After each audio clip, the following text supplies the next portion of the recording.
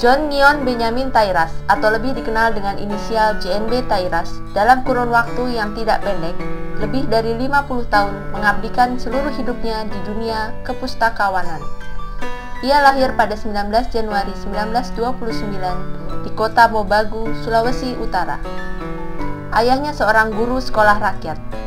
Karir Tairas sebagai pustakawan diawali pada 1 September 1952 usai tamat SMA. Ia bertugas di perpustakaan rakyat yang bertempat di bekas Fort Rotterdam, Makassar. Cita-cita Tairas sejatinya menjadi ekonom. Untuk itu, ia mengambil pendidikan B1 Ekonomi sambil menunggu berdirinya Fakultas Ekonomi yang baru dibuka tahun 1953. Belum selesai menamatkan pendidikan sarjana ekonomi, pada permulaan Oktober 1954, Tairas bertolak ke Jakarta untuk mengikuti kursus pendidikan pegawai perpustakaan angkatan ketiga di Jalan Medan Merdeka Selatan selama dua tahun. Pemimpin kursus AH Habraken dibantu oleh beberapa pengajar yang semuanya memperoleh pendidikan perpustakaan di Netherlands. Karena nilai ujian kelulusannya terhitung tinggi, pada 1 Agustus 1956, Tairas diminta untuk mengajar paruh waktu pada angkatan berikutnya. Karir pustakawannya berlanjut di Kantor Pusat Perpustakaan Rakyat, Jawatan Pendidikan Masyarakat, Kementerian Pendidikan, Kebudayaan, dan Pengajaran dengan tugas sebagai guru tidak tetap pada kursus tertulis pembimbing pendidikan masyarakat jurusan perpustakaan mulai 1 Desember 1956. Di samping itu, ia juga sebagai pengatur tata usaha pada bagian perpustakaan rakyat Jawatan Pendidikan Masyarakat.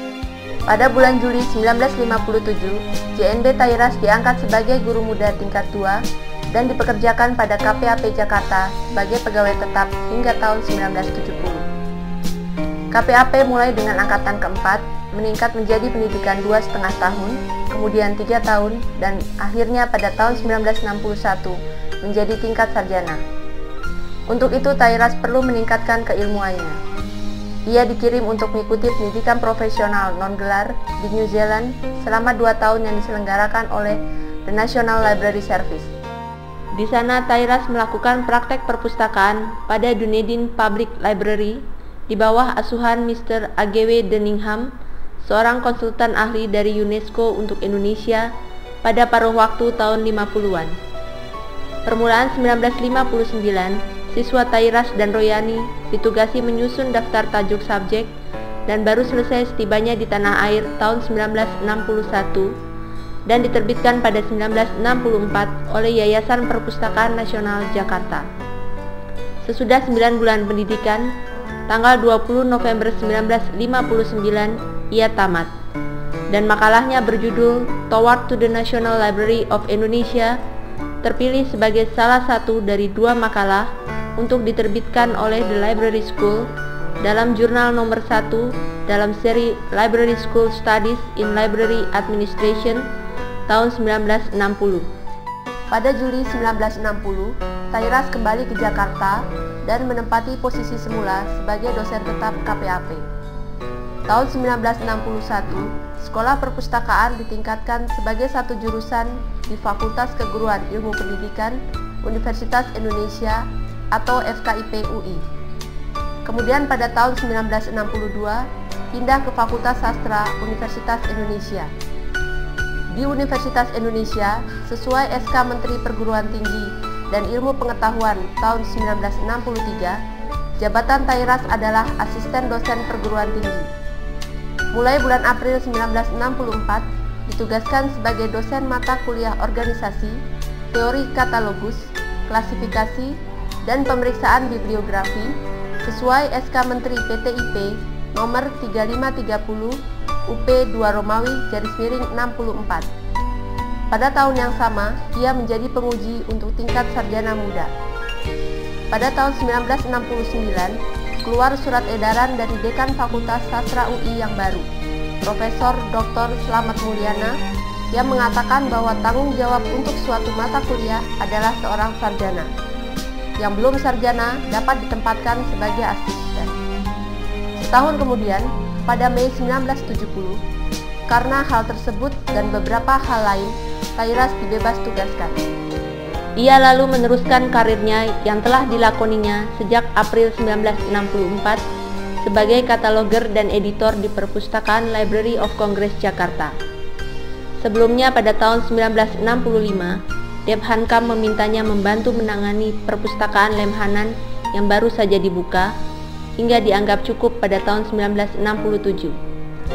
Tahun 1975 bersama kawan-kawan akrabnya, di antaranya Royani, JP Rompas, Bambang Sumantri, HAK Bahrudin, Darlis Ismail, Rosali Said, dan Sudariah Nasution, ia mendirikan dan mengajar di Lembaga Perpustakaan Dokumentasi dan Informasi atau LPDI Jakarta.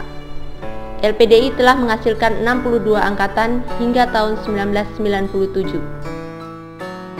Tairas pernah menjadi wakil Indonesia dan sekaligus sebagai pembicara pada International Conference on Cataloging Principles atau ICCP di Paris, Perancis pada Oktober 1961. Hasil konferensi itu dikenal dengan sebutan Paris Principles. Konferensi ini dipandang sebagai tonggak bersejarah dalam penentuan peraturan pengkatalogan di bidang perpustakaan.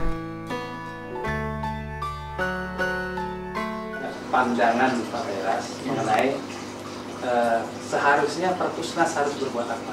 Oh iya, memang. itu ya kan? Jadi biar perpustakaan tidak disepelekan ya. Oleh karena perpustakaan nasional itu sebagai yang membawa payung besar ya. Iya, besar. Ya. Nah, memang uh, satu ini mulai perbukuan supaya perpustakaan nasional itu membentuk satu panitia seleksi buku-buku yang cocok untuk sekolah. Oleh karena saya katakan tadi salah satu salah satu oleh karena dalam sistem pendidikan perpustakaan sekolah itu disepelekan. Berarti pustakawannya harus meneliti sampai sejauh mana buku yang Ya, itu di dipasarkan itu. Tapi yang mempunyai peranan di perpustakaan sekolah ada tetap guru-guru. Tapi kerjasama dengan kepala perpustakaan. Tapi paling sulit sekarang itu untuk eh, ini perpustakaan sekolah mengajak orang jadi kepala perpustakaan sekolah. Oleh karena kepala perpustakaan sekolah itu kebanyakan dia guru. Kemudian yang sudah di, dilatih menjadi pustakawan mengikuti penataran. Jawab penataran paling tinggi tiga bulan untuk menjadi guru pustakawan, teacher library. tapi nggak boleh ya ya. Hah? Guru harus guru, pustakawan pustakawan. Nah, begini. Oh ya, itu Kan artinya dua fungsional yang ya, berbeda. itu kan pendapat. Tapi yang berlaku di negara-negara yang maju dan juga ini, itu yang paling cocok untuk menjadi pustakawan pustakawan sekolah. Dan itu library. Guru pustakawan. Nah, guru pustakawan.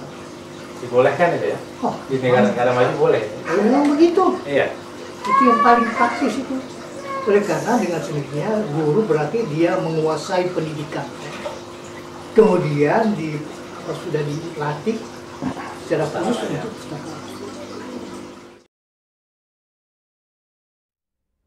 Pada hari Kamis 27 Mei 2004, pukul 13.00 WIB, JNB Tairas meninggal dunia di Rumah Sakit Fatmawati, Jakarta Selatan. Selamat jalan, Opa Tairas.